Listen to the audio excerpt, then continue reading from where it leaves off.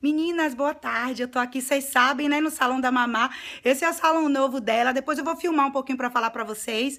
E o seguinte, Vamos ser real. Hoje eu vou cortar meu cabelo. Eu mostrei, assim, mostro assim a real de que eu sou para vocês verem meu cabelo, né?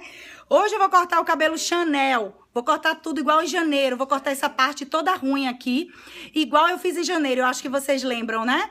É, porque falam que quando a mulher tá para cortar de cabelo, ela tá para mudar de vida e eu não tenho passado uma experiência boa. Depois eu conto isso para vocês, deixa eu me preparar, passar o susto todo, né, para vocês poderem entender mais ou menos a minha história, por que que eu tô triste porque aconteceu essas coisas e e foi, é uma experiência de vida para mim, mas é, eu tô bem ferida ainda, mas eu vou, vou falar para vocês a respeito do que foi. Mas teve uma história boa nisso tudo. É, eu não sei se vocês perceberam, desde janeiro eu tenho mudado, eu tenho emagrecido e tal. E eu tive uma inspiração para isso também. Só que essa inspiração me trouxe dor, porque eu me envolvi, né?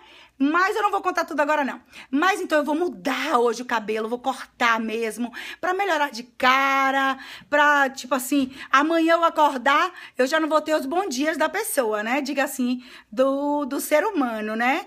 Então até eu me acostumar com isso vai ser bem difícil. Mas eu vou estar tá mudada, tipo assim, eu já tô linda, que eu tô magra mesmo. Ó, gente, vocês falam que eu tô linda, eu tô quase me achando linda, tá? Então, o que é que acontece?